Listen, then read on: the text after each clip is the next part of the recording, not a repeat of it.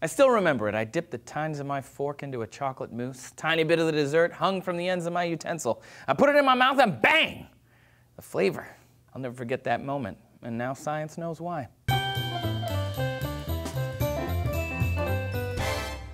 Hey there, sweeties. Trace here for D News. A 2013 survey of eating behavior found snacks are contributing more and more to the American diet. But a 2014 study in hepatology found snacking on high fat and high sugar foods in between meals contributes to obesity and fatty liver.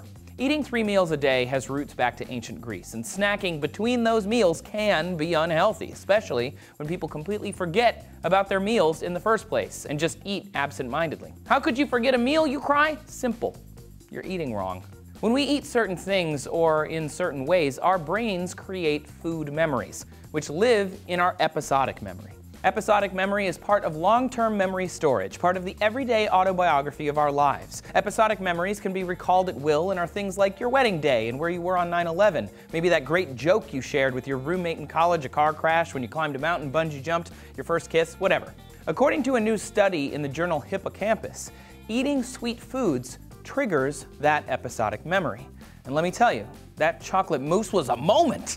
The researchers believe episodic memory could be used to control eating habits because when people eat absent mindedly, like while watching TV or reading, they don't form those food memories. And then we eat more than we should, or eat more often, or snack between meals. A study in PLOS One from 2012 describes why this might be. Feeling hungry isn't just physical, it's also mental. They wanted to see if our perception of how much we ate changes how we feel about it when we eat again. Their study showed people specific amounts of soup, 300 milliliters or 500 milliliters. And then, while they ate, covertly sucked soup out of the participants' bowls or added some back in. Basically, people who thought they ate 500 mils but actually ate less felt fuller, whereas those who thought they'd eaten 300 mils but had actually eaten more got hungry more quickly. Humans are just big dumb animals, aren't we? Our perceptions and our episodic food memories have a huge impact on how and when we eat and how hungry we feel. It's all up here. So when you say, no thanks, I had a big breakfast, according to these researchers from Hippocampus, you're actually recalling your last episodic food memory and determining, based on that memory, if you're hungry.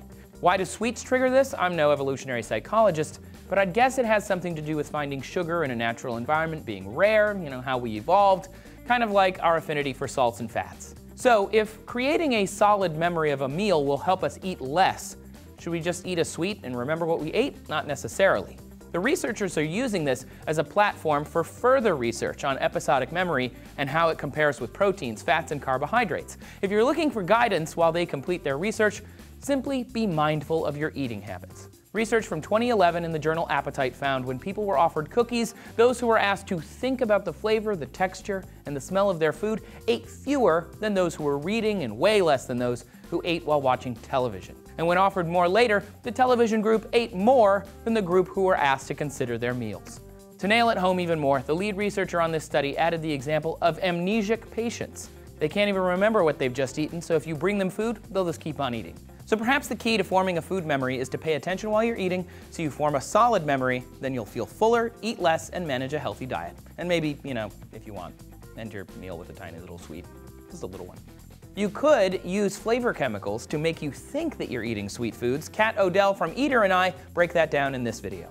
Artificial flavors are non-toxic compounds. When ingested, they trigger the same responses as actual flavors, but they aren't the same thing. Famously, vanilla flavor can be pulled out of castoreum, which is produced by glands around the anus of a beaver. What's your favorite dessert? Why don't you tell me down in the comments? Make sure you subscribe for more D News. We'll see you next time. I love pecan pie.